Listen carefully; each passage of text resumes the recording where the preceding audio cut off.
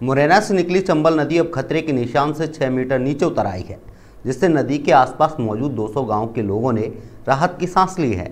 दो दिन पहले तक यह 136 मीटर तक पहुँच चुकी थी और खतरे के निशान से 138 मीटर से मात्र दो मीटर नीचे थी। आपको बता दें कि राजस्थान के कोटा बैराज के गेट खुलने के बाद चंबल नदी में जलस्तर बढ़ गया था।